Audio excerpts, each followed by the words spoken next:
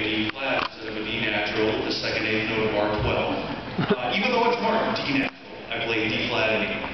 Um, Again, I mentioned some of the sort of preparatory exercises for this uh, for this etude.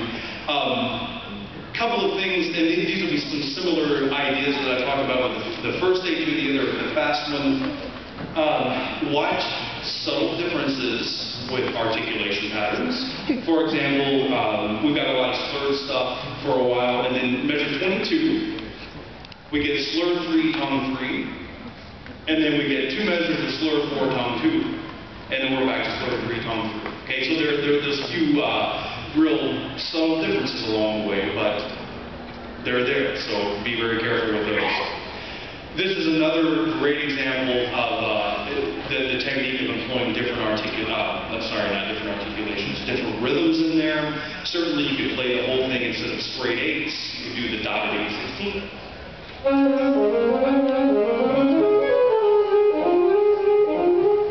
and so on. There's yet another rhythmic figure that you could turn this into that is particularly helpful in measure, uh, the area around measure 34. Notice how for a while, and even a little bit before that, when we get the notes grouped in threes, pretend for a minute that this is in 2-4 and turn it into 8 2 sixteenths. Sorry, uh, easier said than done.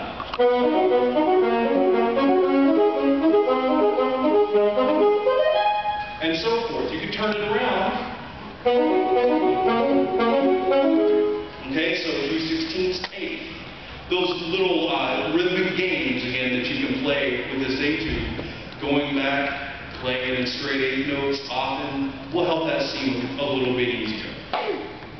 Um, couple of alternate fingering things or fingering issues to consider. Again, bis B flat's not an alternate fingering really, it's just another one to consider. Um, anytime you have an arpeggio, as I said in the first one, I think bis B flat can be a real helpful fingering to use. One very nice alternate fingering is the alternate F sharp or G flat fingering. We see a lot of F, G flat alternations in here.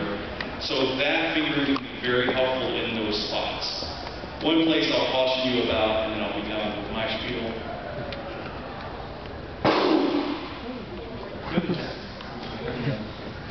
Measure 14. Measure 14 looks like a to use alternate G flat or F sharp. Don't do it because of that step down to the low D flat. Your, your fingers will be out of position. All right? Any questions? Yes. Um, going from measure 34 to 53, that's 20 bars. Mhm. Where would you want to reach? Okay. Anything with, with the phrase after that? Because my students won't be able to make that. what I would do in those spots is you've got basically two choices. I like to use the sort of musical approach to it. Find a place where you can put in a slight retard and grab it with breath before you move on. And here's, here would be the place that I would do it in this section from 30, 34 to 53. That's a long time. Probably right here would be one. This is 45 to 46 if they can make it that far, because that's where the pattern really changes. And we've got a good cadence going right there. So something to the effect of, uh, find that.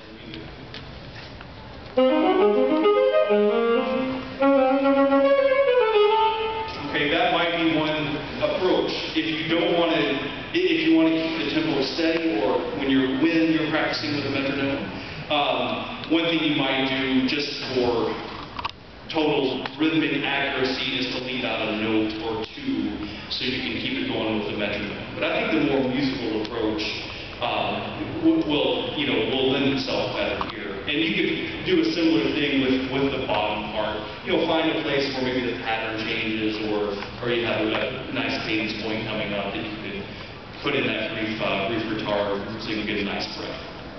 Good question. Anybody else? All right. Thanks, everyone.